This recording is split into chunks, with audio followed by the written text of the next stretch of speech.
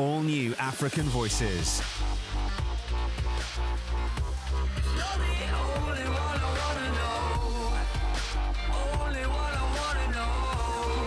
This week, the art of movement. Meet dancers who are breaking the mold.